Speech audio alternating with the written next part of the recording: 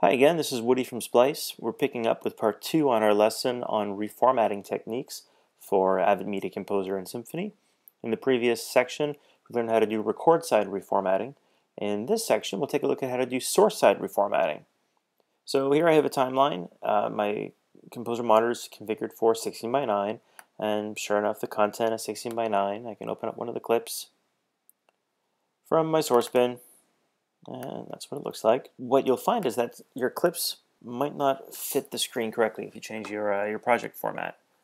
For example, I'm going to take this and switch it over to 4x3. So now I want to make a 4x3 output, but this footage is 16 by 9. So Media Composer just stretches the video footage. By default, whenever you change your project format between 16 by 9 and 4x3, it's just doing a, a stretch. So what we can do is change that by going to the bin and we're just going to add uh, a column. So to do that, I'm going to switch off all of the columns by choosing the custom preset, which is simply a preset that has nothing in it.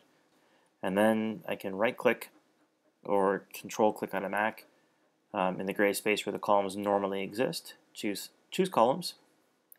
And from there, there's an option or a column called reformat right there.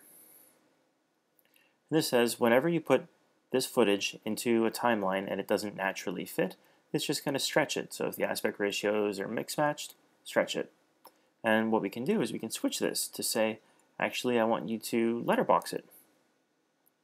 So now you can see by looking at my source monitor that this clip is automatically uh, getting pillar box or letterboxing in order to preserve the original aspect ratio.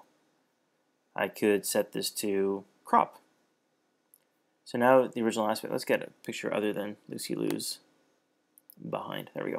Uh, so now the center crop is being used.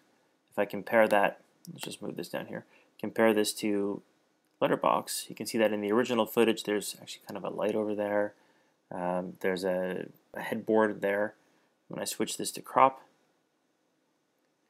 we lose that content that's on the sides, but we still maintain our original aspect ratio even though we're now in the 4x3 frame. And the way we do that is by removing the content on the side. It's as though the original content is over here on the side and over there on the side just being cropped out as though this was a much wider frame. No matter what I do for these, setting them to, petter, uh, to pillar box or stretch, you can see that it doesn't really have any effect on my timeline. If I go find the same shot in my timeline, right about there. This is the stretch version. I can still see that headboard. This is the crop version. Or maybe this is my letterbox version. Once you make these changes in your source bin, the changes don't propagate to existing clips that are already in the timeline. If it did, that would wreak havoc if you had multiple sequences all using the same shots, because they'd all be changed even if the sequence wasn't already open.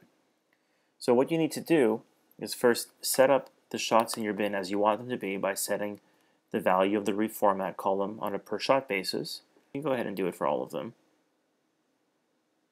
You just select all box like that.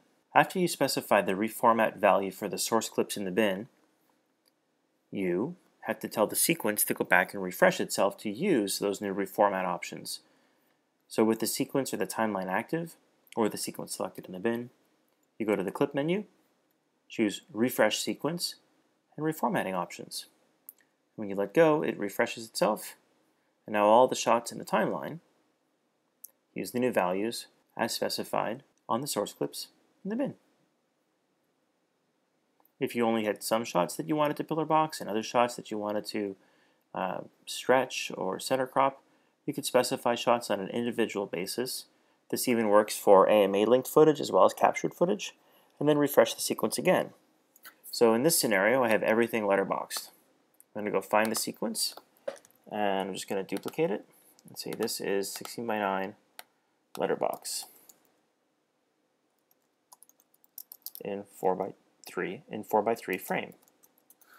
And then I can and then I can duplicate the sequence again and say this is 16 by 9 cropped in 4 by 3 frame. open up this new one, then come back to my source bin, select all, change the reformatting option to center crop, and then come back here and refresh my timeline, clip, refresh sequence, reformatting options. Now it's center cropped, and now we have two versions of the sequence. One that I can output center cropped, and one that I can output in 4x3. And if you need to, you can combine both source side reformatting as well as record side reformatting.